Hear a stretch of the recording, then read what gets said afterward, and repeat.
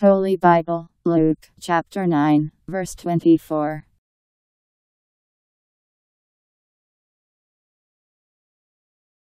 For whoever has a desire to keep his life will have it taken from him, but whoever gives up his life because of me will keep it.